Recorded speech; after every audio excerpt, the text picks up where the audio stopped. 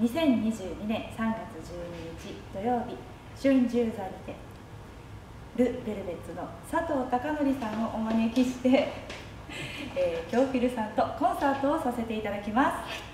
はい、楽しみですね。楽しみですね。初めてデュエットをさせていただく予定でもありますし、何を歌おうかっていうね、はい。えーその楽しみもありながら、はい。そして、えー、ブチさんの魅力がたくさん見れると思います。シュガーの魅力もたくさんお届けしたいと思います。はい。皆さんが来てよかったなと思っていただけるようなコンサートを作りたいと思いますぜひ春秋座にいらしてください。お待ちしています